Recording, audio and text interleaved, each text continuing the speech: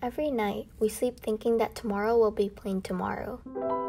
Every morning, we wake up with a goal, one that guides our thinking towards what needs to be done. Every morning, we follow a routine from the moment we wake up to the moment we sleep. But one morning, imagine it's not the same. When one night you sleep thinking tomorrow will be plain tomorrow and wake up to uncertainty. When your life suddenly spirals out of control when your routine is broken, when you aren't the one with the control over your life. And that's when you realize that every day is not the same. When those things happen, we lose control. We lose our goal. And most of the time, we get lost within the things that need to be done. And those things can block out sunlight and the meaning of life.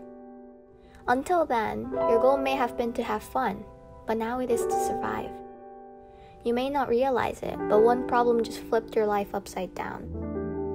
We all do something to clear our heads during that time, and for most of us, we do what we love most to put us back on track. Whether that's drawing, singing, making something, or cooking.